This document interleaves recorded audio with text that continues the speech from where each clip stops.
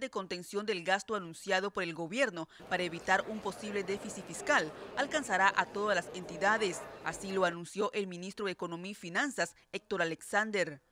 Bueno, mire, yo, si yo le digo ahora que yo tengo en mi cabeza todo el detalle de esos autos, lo voy a estar mintiendo, ¿no? Pero sí, las instituciones han sido realmente todas afectadas, así que la idea en momentos como este, sí, todos tenemos que poner nuestro granito de arena para estar seguros que podemos tener un presupuesto realista a la luz de lo que nosotros podemos realizar y ejecutar con orden, básicamente.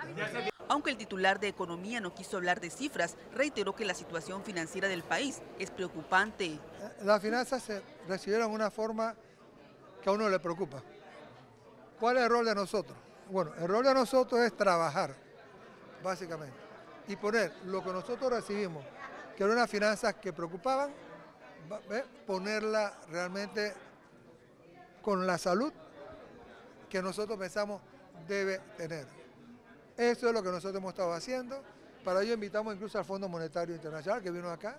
Estuvimos el diálogo con ellos, un diálogo abierto, ¿no? para explicarle incluso cuál iba a ser nuestra estrategia para pasar de una situación difícil en materia de las finanzas públicas que estamos manejando a, a una situación que nos enmarque en una ruta ¿no?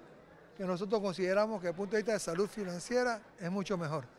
Las declaraciones de Alexander se dieron al momento que se instaló la Comisión de Economía y Finanzas de la Asamblea Nacional, donde el vicepresidente del Legislativo, Tito Rodríguez, indicó que a lo interno de la Asamblea se evalúan medidas de austeridad.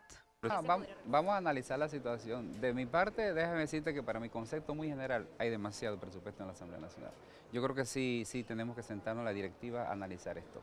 Si queremos hacer un cambio en la Asamblea Nacional, yo pienso que tenemos que empezar nosotros mismos como directiva Demasiado, sí, demasiado, es seguridad. Y al fin y al cabo no estamos cuidando a nadie. Son cosas que yo analizo cuando entro aquí a la Asamblea Nacional porque tengo una mentalidad un poco diferente. Yo quiero cambiar la Asamblea. Yo le pido a los 70 diputados que me acompañan que cambiemos la Asamblea Nacional. Por ejemplo, aquí no hay ningún tipo de revisión. Tenemos tanta seguridad en la Asamblea Nacional y cualquiera entra a la Asamblea Nacional sin bajar los vidrios. Yo lo he visto, lo he puesto a ver no hay, a ustedes que están aquí están expuestos a que cualquier cosa pueda pasar. Entonces, ¿de, qué hablamos? De tanta seguridad si realmente no estamos cuidando y no estamos haciendo el trabajo. Entonces estamos haciendo un gasto innecesario. Por las medidas administrativas y fiscales que determinó el órgano ejecutivo como parte de las medidas de contención del gasto buscan un ahorro de 1.484 millones 711 mil dólares.